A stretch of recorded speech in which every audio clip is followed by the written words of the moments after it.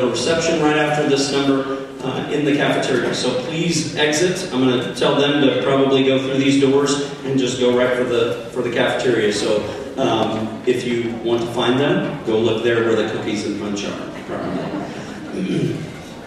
what a year this has been for us. We talked a little bit before the concert um, about the fabulous journey that we've made, each individually and in our individual ensembles and as a program as a whole.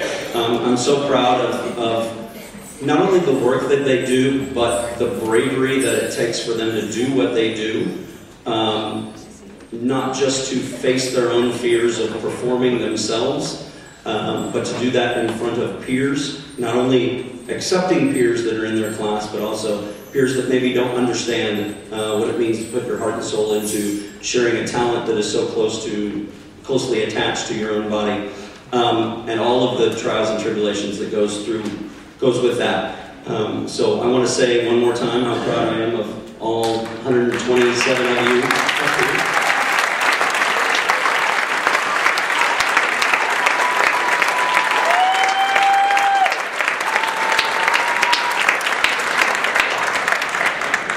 We're going to close with uh, a piece that we've done several times in the last 12 years called Homeland, also by Z. Randall Stroope.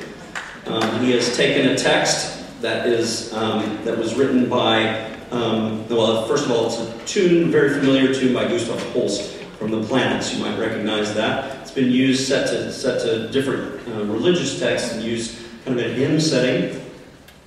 He has taken uh, the text um, and then he has expanded it, uh, used it, used some of his own words, and um, the middle portion really talks about uh, or reflects on his own father's um, uh, journey uh, while he was a, a, member of the Bataan Death March in World War II. Um, so you'll hear a little bit of that foreboding music in the middle and the words that go along with that. But I like to find deeper meaning in, in all of the texts that we that we sing about, and for especially for the seniors, I hope that that not they not only see this piece as singing of their homeland, America, which I hope they are proud of. Um, but I also hope they see that as Rockbridge being their homeland and a place that they have poured their hearts and souls into um, being musicians and students, athletes, and all kinds of other things in this school. And I hope they know that, yes, they are going to one of the best high schools in the state of Missouri, if not the best.